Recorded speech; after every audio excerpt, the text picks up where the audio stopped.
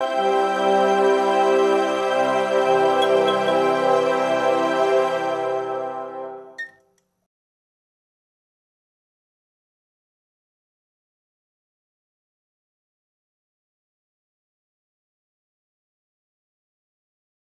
sound of Sidney was really kind of cobbled together from three incredible trumpeters. And I think that's also what makes it interesting too, is that it's such a Sidney is so incredible. Sidney is such an incredible musician, and the breadth of music that he plays is so is so wide that it took three of the best trumpeters in the world to be able to pull it off. It took Sean Jones, Dontae Winslow, and Ludovic Louis all bringing their specialties to be able to just cover what Sidney Palmer plays in this movie. One of the concepts we talked about early on was what if we used the instrumentation of a 1920s jazz band, maybe a little, maybe a little more modern, maybe cheating it a decade or two modern, just in terms of the size of the band, a couple more trumpets, a couple more trombones, but basically the lineup of an early 20th century jazz band, but the the the music, the the composition, the kind of riffs, the kind of chord changes, the kind of uh, rhythms, the kind of you know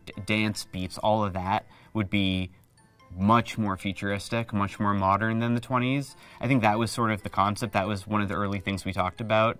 That was a way to thread the needle to keep us, you know, enough, keep it, be enough, to be believable enough in the 1920s, but still without being 20s music at all. There are a lot of things in this movie that don't, don't like they're just not meant to be realistic. And the clacks in Voodoo Mama is something like that, where it's just bigger than life. It's bigger than the band that's in that scene by by by far. Same for the elephant section of Voodoo Mama. You know, Voodoo Mama it's driven by the clacks. It's got that trumpet solo, and it's the track builds and builds and builds, and then it has this huge gear shift. And if you've seen the movie, you know why, because this elephant bursts into the room. So we call it like the elephant section or the circus section of Voodoo Mama. And that circus section is as far as the movie goes, you know, nothing to do with the band. I mean, there is the jazz band is still in there, but you got an orchestra, you got violins and woodwinds doing these circusy runs, and you've got um, these like Piatti crash cymbal things that are very circusy, and you got uh, slide whistles and kazoos and party horns and all these sounds. So it's just really a bigger than life ending. And it's one of the things we do many times where something may start as a band then build into something else that is that is score and that is so much bigger than what could possibly be in that scene. Casting the musicians was really important. It's something I've never done before. In the past, I just take, I know a few musicians, but I also mostly just take whoever the contractor brings.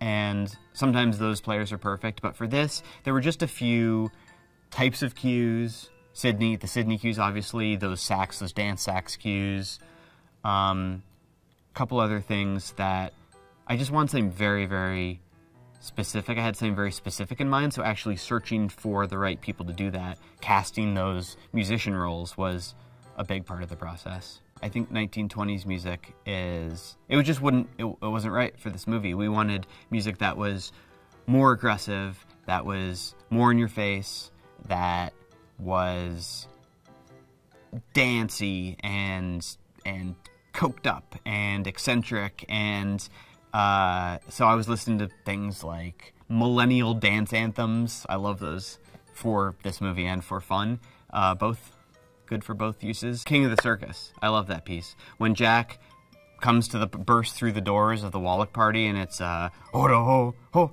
ho it's all these voices. It's like 30 of my voice.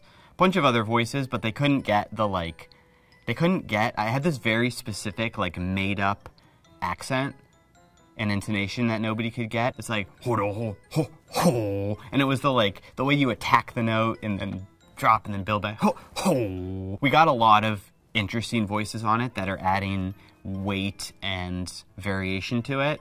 But there's like a lot of me doing it because it's like it's this very weird made up accent that I couldn't could not convey to people. Um, so anyway, King of the Circus, Jack bursts through the door. It's these like weird indigenous sounding chants. It's like very primal, very like this guy is he's king. He's the king of the circus. So like bringing in a lot of these real in some cases or or just like made up but kind of campy sounds that are like exotic. That was part of this score too. I hope they remember the melodies. I hope they remember the tunes. I always love that.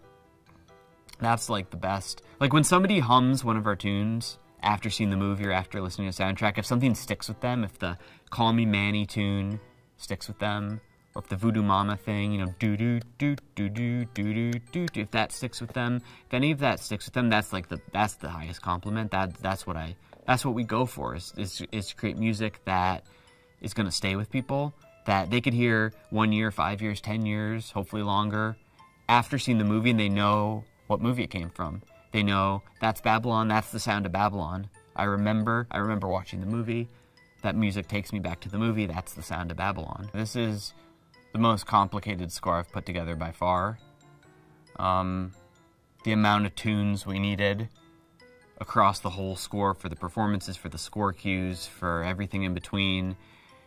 The layers, I mean, the amount of sessions we've done over the past year and a half at studios all over, the amount of players, the amount of options, the amount of, like I said, going and getting like five different trumpeters to play this solo, all the like world percussion sessions, all the sort of e eclectic and eccentric percussion sounds and party sounds and circus sounds and and putting it all together, combing through it, finding it's been a really exploratory process, and so you end up with huge hard drives, huge sessions, huge so many options.